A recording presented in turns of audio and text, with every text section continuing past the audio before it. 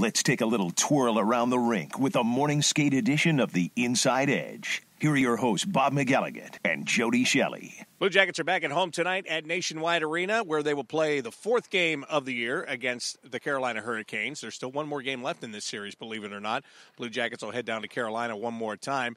But uh, Jody, the last time these two teams met, it was in Carolina. The Blue Jackets had a lead. They let it get away. Jordan Staal scored what turned out to be the game-winning goal, and the Hurricanes beat the Blue Jackets. At that time, these two teams were pretty much neck and neck, looking for a playoff spot. Now things have changed drastically. The Blue Jackets still in the playoff picture, whereas the Hurricanes, well, they've fallen off. I'll take your word for that. That's what happened during the game because I really can't remember. Thank you for that, Bob. Uh, yeah, but uh, definitely the playoff picture. I was surprised when I looked at this team's uh, standings yesterday and where they sit with 67 points, nine points out with 15 games left, nine points out of the wild card position.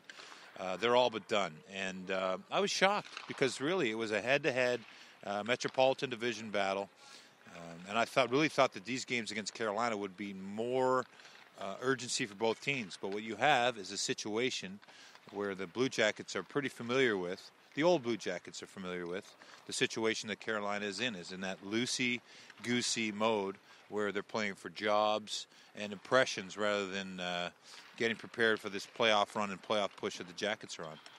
Somebody asked me the other day when I was on a national show, somebody asked me, What do you think the turning point was in the franchise? And I know you were playing in Philadelphia and you weren't actually here, but you've been here all year now and you've had a chance to feel it out and you know what's happened here in the past where did this team turn to where you know when Rick Nash has to be traded from here, uh, it seemed to many people like, well, that's it. Things are bad and they're just on their way to getting worse. But as a matter of fact, things have kind of turned around. I don't know if that's the actual turning point. Maybe it's John Davidson coming. Uh, whatever it is, what do you think's finally got this team headed in the right direction?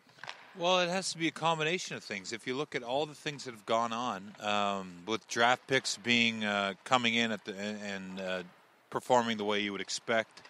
Um, yeah, leadership upstairs for sure, but there was pieces put in place by Scott Howson and his group that and trades that were made. That Rick Nash thing is definitely the biggest thing done in, in the franchise history as far as uh, impact of a player being sent somewhere, and really an unknown on what how the group is going to react.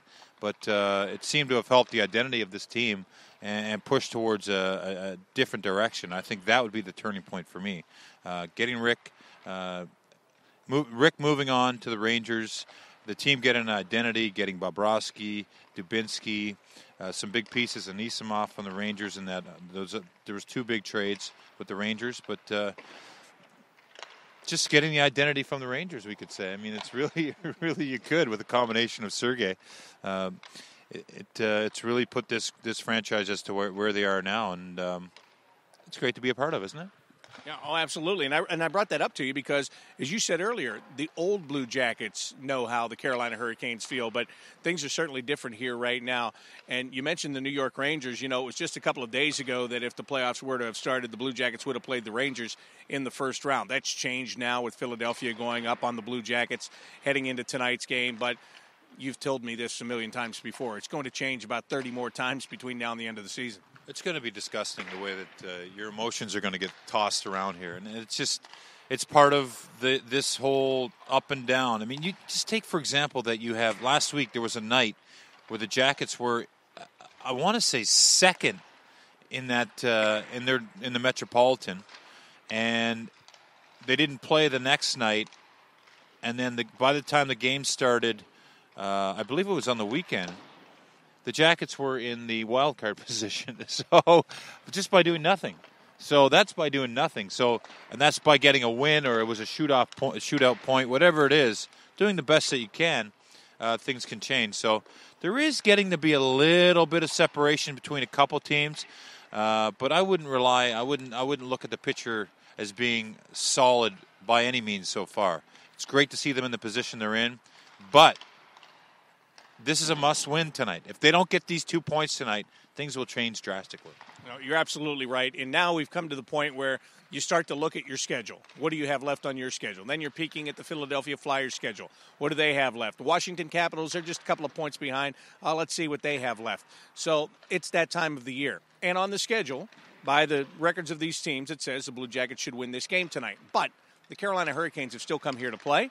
And the Carolina Hurricanes now get into a position where they go from playing for the playoffs to playing for jobs, which can bring out the best in a player as well, can it?